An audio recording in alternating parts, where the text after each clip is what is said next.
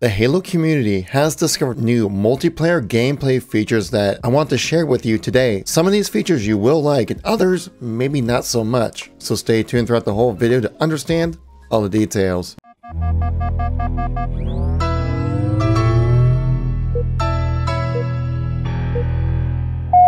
So the Halo news again keeps on a trugging as the community keeps on a digging and reviewing the gameplay that we've seen for the multiplayer reveals. I found a couple things that seemed rather interesting, so I figured I'd share those details with you guys today. Also, I want to apologize, my voice sounds a bit off. I actually blew out my voice on Friday night from singing too hard. But I'm dedicated to the craft, you guys gotta get the news. So if you guys like these news and informational kind of videos, make sure you tap that like button. Let me know you want to see some more content like this. If you want to stay up to date with everything going on with Halo as I ramp up to the release of Halo Infinite, make sure you tap subscribe.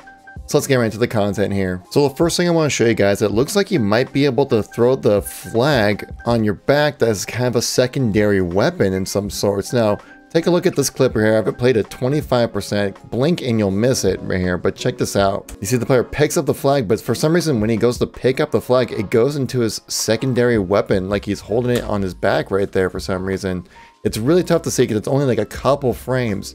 But when you see it, it's right there, it's on his back, and then looks like he quickly switches to the assault rifle on as a secondary weapon and holds the flag which seems very interesting. We've never seen that before. And the reason why I think that might be carrying the flag on his back as a secondary weapon of some sorts is because of this clip right here. Now keep an eye on the lighting of the assault rifle and the top of the screen here as well. You'll see some red trails up at the top of the screen as this character moves backwards, which if you guys saw from the previous clip, that the flag has a bit of a light trail, has like two twin tails like right up here as you can see, very similar to the flag, but this guy has weapons out, he's walking backwards, throwing grenades and shooting.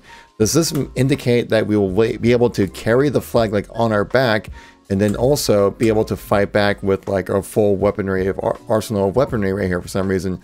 Now, we don't see him sprinting or anything like that as it does show that we can sprint with the flag now. So that's going to be kind of an interesting tactic to see what happens with CTF. But how do you throw the flag as a secondary weapon? That's going to be kind of interesting to see if you maybe hold on your back and maybe you can't sprint, but you have the ability to throw all your weapons and throw all your grenades and things like that. That's going to be pretty interesting to see how this actually plays out within Halo's multiplayer. Maybe move at like 80% speed or something like that, because there has to be some kind of downfall to this kind of tactic. But if you can do this, this is a game changer when it comes to capture the flag. And forget the flag now, you just get to be a full-on Spartan walking around with the flag on your back. That's kind of interesting to see if there's any some kind of equipment, some kind of perk or some kind of thing that lets you do this. Now I saw an interesting type of lighting as well on the assault rifle within this clip where the player uses the grapple shot, it looks like to grab the camo towards them, but an interesting thing is keep an eye on the lighting of the assault rifle in this clip as well. You'd be very shocked to see the lighting on it because first I thought it was like a skin of some sort, but when you actually look at it, you can see that there are bits of variation when it comes to the lighting of the inner parts of the assault rifle, I mean, there's some kind of like blue hue kind of glow to it. Now you might think, well, it's the camo, right? The camo is blue, but this is more of like a teal kind of coloring to it, so I wouldn't expect it to be like oh, you have the overshield, you get to emit this kind of color of some sort. This definitely is not a type of weapon skin either, as you can see how the lighting is very uneven on this, so then it makes it much more like it's an illuminated thing onto the weapon, not like actually part of the weapon itself. Now could this player be holding the ball, as we did see that the ball itself does emit a bit of a blue type of coloring, though can you backpack the ball and then be able to have the assault rifle out and shoot around as much as you want? Because we don't see this player sprint at all, he just swaps, swaps out with the camo right there, and then the clip cuts. Because we'll see in this clip here where this player takes out one player who has the overshield and as they pick up the overshield right here, they don't emit any kind of coloring or anything like that. You'll see it on their hand, but that's because they've taken damage that they have this kind of aura coloring to them. Because once you see the shield recharge effect come into play right here, then that coloring on their hand disappears. They click in the overshield and then boom, now you're covered in overshield right there, and you can clearly see the difference right there. And now you're emitting some kind of like yellow light now that you have it activated. So what is this player doing to emit this kind of teal coloring onto the weapon? It's a very interesting thing to point out. I'm just don't have no idea what it's actually happening within this trailer, but there's more than meets the eye on that one. Now this next clip, I want to show you two very interesting features that you'll be coming across when it comes to Halo's multiplayer. It'll be very much of a game changer kind of experience right here. So one thing I want to point out is if you look at the Spartan right here, there's a bit of a trail that follows that Spartan this little trail right here will indicate to you that this player does have overshield, which if you guys remember with now within overshield of Halo Infinite, you can click it and turn it on whenever you want, which would drastically change a gunfight into the favor of the other player. But the great thing to show right here that once the player goes to, to kind of panic spam the overshield on, that right before they actually go through the animation to click it on themselves, they're killed and so they still drop it even though you see them go through the overshield animation right there. Which I believe is the correct way to go about doing this kind of feature now within Halo Infinite that as soon as you're killed before you actually activate the items. So you don't have to deal with these people panic spamming the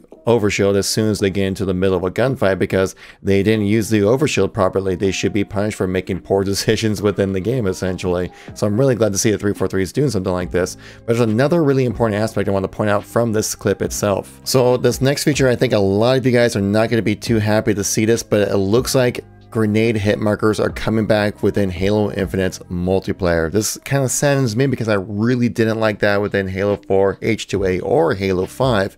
But you can see the player that we're from a point of view has thrown a grenade onto the Spartan. Now keep an eye, it'll be kind of blurry because there's a lot of explosions and screen shake that's happening within the scene, but keep a close eye. There's a, so you see them hit the grenade right there, he takes a little bit of damage, you get a hit marker.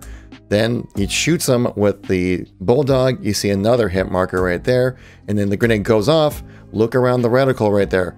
Four little lines around the reticle, meaning that grenade hit markers are coming back within Halo Infinite. Now I'm definitely not a fan of this feature because what grenade hit markers have led to within Halo's multiplayer experience is that people will just throw grenades to try to see if there's anybody over there and just kind of recklessly throwing them around for as kind of like a bit of an extended radar in a way or a sonar rather than actually using the grenades and a time to probably take advantage of a kill or something like that which kind of really hurts like the stealthy aspect of the multiplayer experience. Now keep in mind this is a pre-release build and I'm sure if we get the chance to play some public flighting, 343 gets enough pushback about this kind of thing, I'm pretty sure that they'd be willing to take community feedback if it's overwhelmingly against grenade hit markers.